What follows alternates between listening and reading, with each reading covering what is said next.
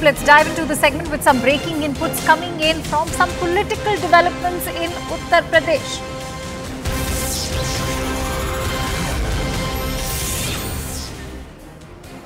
All right, we're now learning that Congress has announced support to Samajwadi Party candidate, this in the Ghosi by-polls.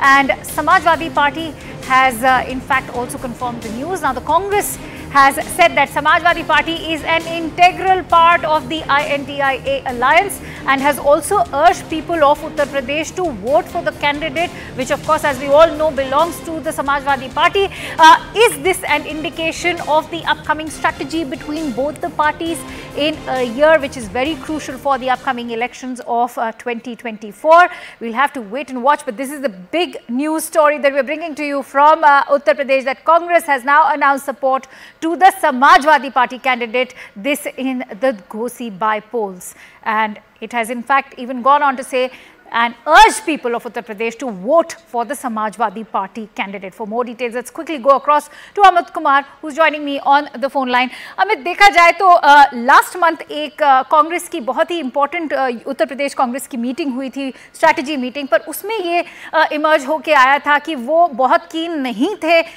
जो है समाजवादी पार्टी के साथ एक alliance करने में पर क्या जो आज डिसीज़न लिया गया है is that an indication of a change of heart बिल्कुल ये एक इंडिकेशन है, बिल्कुल ये इंडिकेशन है, क्योंकि जिस तरीके से एक महीने पहले यूपी कांग्रेस की मीटिंग हुई थी और उसके बाद जो आज जारी किया गया है विप जिसमें कहा गया है कि कांग्रेस पार्टी के कार्यकर्ता समाजवादी पार्टी के उम्मीदवार सुधाकर सिंह को घोसी उपचुनाव विधानसभा उपचुनाव में जिताने के लिए प्रयास करें और लोगों से घोसी विधानसभा उपचुनाव की जो लोग हैं वहाँ विधानसभा को उनसे अपील की गई है कि वो समाजवादी पार्टी के कैंडिडेट सुधाकर सिंह के लिए वोट करें। तो इससे ये साफ़ ज़ाहिर है कि इंडिया, जो विपक्ष का गठबंधन है, India, I N D I इनके पार्ट है समाजवादी पार्टी और कांग्रेस। अखिलेश यादव भी उस इंडिया की बैठक में जाते हैं। वहीं कांग्रेस के बड़े नेता तो होते ही हैं, खुद राहुल गांधी, सोनिया गांधी मौजूद रहते तो ज़ाहिर तौर पर जो पैक्ट था इंडिया को, उसको यहाँ फॉलो किया जा रहा है। घोसी विधानसभा उपचुनाव में। अब देखना होगा कि इसका असर कितना होता है? पाँच तारीख को आने वाले पाँच तारीख को घोसी विधानसभा उपचुनाव में आ, का इलेक्शन और फिर आठ तारीख को काउंटिंग है।